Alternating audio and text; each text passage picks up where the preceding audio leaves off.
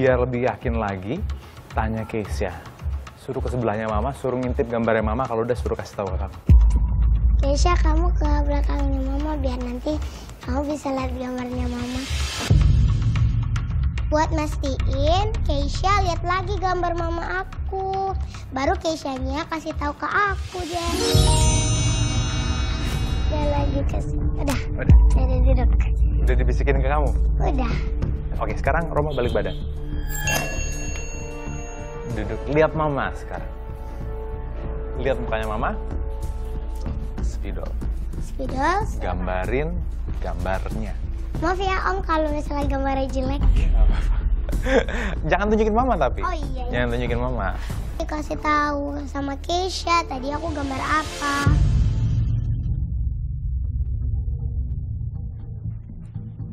Hah, udah taruh di dadanya.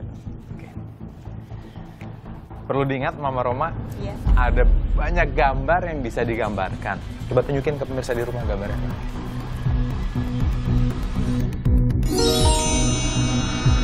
Tapi percaya nggak adanya teman imajinasi sama Keisha? Percaya? Itu kenapa ini didapetin? Coba tunjukin. Di Roma, kok bisa? Tadi aku gambar eh, matahari sama awan. Sama kayak Keisha yang bilang. Tahu kan? Punya saya tuh lebih jelek, Om. Beneran Roma ada temennya? Ngobrol-ngobrol sendiri gitu? Iya. Oke, nah sekarang dibuat lebih susah. Kalau tadi gambar. Dari mainan, dari gambar. Sekarang lebih susah lagi. Sekarang saya mau Mama Romanya balik badan.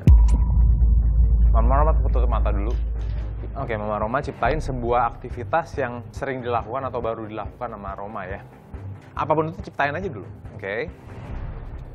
Nah, kali ini dibuat lebih susah. Saya mau tutup matanya Roma. Nanti kamu yang nebak. Mama mikirin memori apa, tapi biar nggak bisa lihat, ditutupin ya. Aku ditutup sama kain hitam. Oke, Mama Roma balik badan. Oke, lihat Keisha. Kan tadi mungkin karang lihat ya. Oke, sekarang Keisha nebak. Memorinya apa kira-kira? Roma tanya ke Keisha, kira-kira Mama mikirin memori apa? Kalau udah, bilang udah ya. Apa? Apa? Memori apa ya? Dia apa tadi, Pak? Beliin Roma tas sekolah. Bener. Bukan. Bukan, bukan. Coba tanya lagi sama Keisha. Bukan Keisha, apa yang bener gitu dong? Eh, beliin snack? Bukan? Bukan, Bing. Apa Keisha yang bener? Pas aku tebak, ternyata salah semua. Emang mikirin apa? Menonton Star Wars. Nonton Star Wars.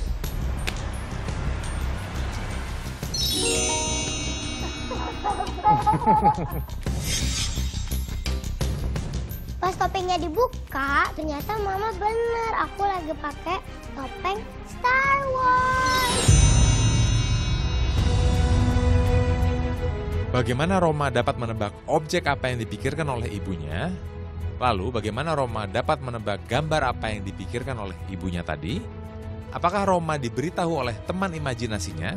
Sebetulnya Roma dapat melakukan itu semua karena Roma secara tidak langsung membaca reaksi mikro wajah dan bahasa tubuh mamanya sendiri.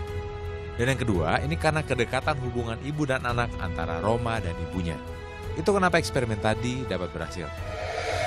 Keisha, terima kasih ya kamu udah nemenin aku dan bantuin aku di lintas imaji. Dadah, terima kasih.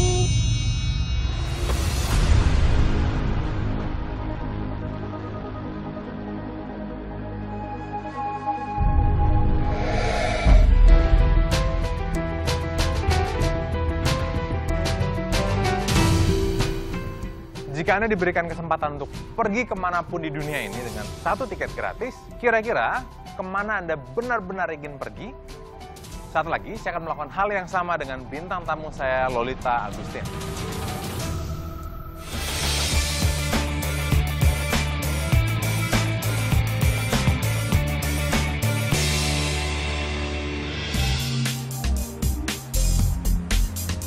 Kita nggak sendiri, ada penggemarnya Lolita Agustin.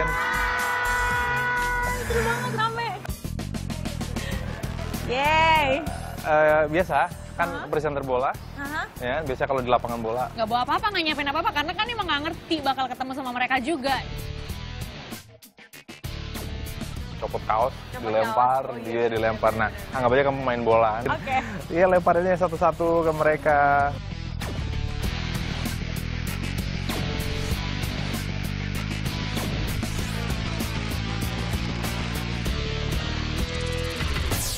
Iya, bakinya jangan dilempar. Jangan ya, jangan jangan. dilempar. Sekarang kembali lagi. Ah. Ada peta di sini. Kan banyak benua. Hah? Udah ke berapa benua? Berapa benua? Ah ya, ke Asia udah pasti pernah.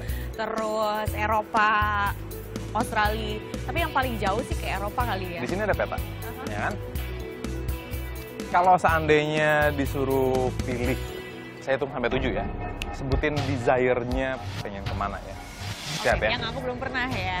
Satu, beli lihat. Dua, tiga, empat, lima, enam, tujuh. Sebutin. India. Emang belum pernah sana?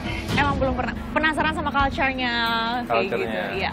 Mungkin kalau destinasi-destinasi populer udah banyak, banyak banget yang kepengen ya kayak Terlalu Jepang, Korea. mainstream Terlalu ya. mainstream. Kalau India itu mungkin banyak orang lihatnya India kan negaranya Bronx atau kayak gimana. Tapi justru di situ pengen ngelihat apa sih sebenarnya yang mungkin uh, kita semua para traveler itu nggak ngelihat gitu dari India.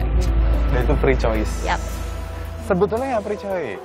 Tidak ada namanya free choice. Free choice itu hanyalah ilusi. Terus? Karena ada faktor eksternal yang mempengaruhi kita untuk memilih pilihan tersebut. Ingat nggak tadi? Saya hitung sampai tujuh, ada dunia, semuanya memiliki keajaiban mereka sendiri. Kalau disambungin, tujuh keajaiban dunia yang paling muncul di pikiran manusia adalah Taj Mahal. Ya mungkin masih nggak percaya. Bisa aja dibuat-buatin kan, bisa aja ya. So anyway, uh, boleh berdiri. Ba- balik badan. Balik badan ya.